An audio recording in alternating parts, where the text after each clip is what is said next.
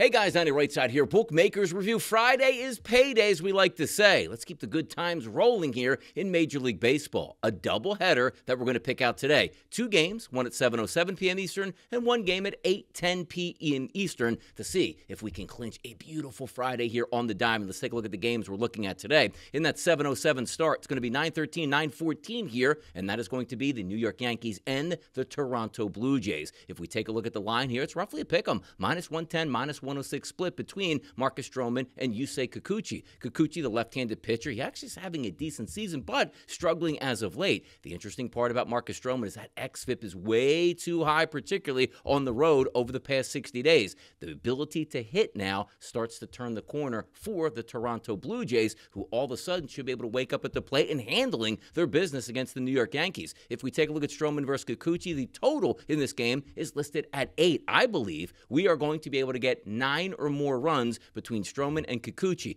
Both of these lineups should be able to hit each one of these pitchers, and with the ballpark, up in Toronto, we know that those fences have been moved in at the beginning of the year. I believe we're going over the total. So we're going to go over eight runs between the New York Yankees and the Toronto Blue Jays. Game number two, we're going to take a look at. It's Cleveland and it is the Kansas City Royals. Should have a good weather hitting environment in this game starting at 8:10 p.m. and a rotation number of 9:15, 9:16. If we're looking at this game overall, overnight line was 10. It's dropped a little bit to 9.5. We're also going to go over the total here. If we're looking at Triston McKenzie, one of the guys I've been fading the entire season. Why? Well, he's got some high XFIP numbers, which means he is dancing between the raindrops here. Some good performances, some bad performances. If we're looking at that Cleveland lineup going against Marsh, I believe they will be able to hit as well, even though it's a pretty high number, meaning 10 runs for us to cash in. I believe it's the right play here. So we're going to go two totals here and taking them to the over here. That is New York and Toronto over eight runs. Second game, Cleveland and Kansas City over nine and a half. Let's do double duty tonight on a Friday night and cash in some tickets.